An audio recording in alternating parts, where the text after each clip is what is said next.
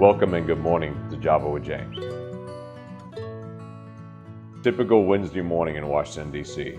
I'm in D.C. six weeks and then back in Oklahoma for a week in a typical Senate schedule. While I'm here, I'm on four different committees, eight different subcommittees. I usually have 15 different meetings a day in addition to the different committees and subcommittees I serve on. It's a very busy time. But on Wednesday mornings at 9 a.m., there are no committee meetings during that time period, and we block off every week at 9 a.m. for what we call Java with James when Oklahomans just come in and get a chance to visit, to meet each other. It's always interesting to be able to hear a lot of Oklahomans, what brings them into town that week.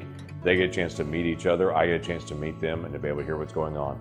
If you're ever in Washington, D.C., whether it be family vacation or business or just coming through town, and you're here on a Wednesday, stop by. Love to be able to give you a cup of coffee and be able to sit and visit for a little while and be able to catch up on what's happening in your town and what's happening in your family as well, and also catch you up personally with what's happening in DC. Look forward to getting a chance to seeing a lot of folks back home in the times that I'm home. But anytime that you're here, please let our staff know so we can help you get information about what's going on in DC, get you tours in different places, and get a chance to connect with a cup of coffee. See you some Wednesday morning for Java with James.